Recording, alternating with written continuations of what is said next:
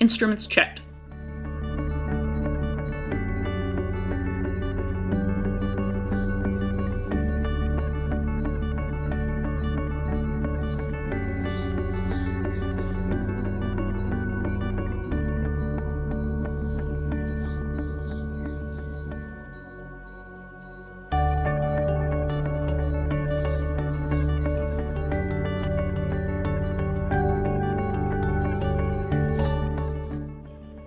Gear up, flaps up at 120 knots.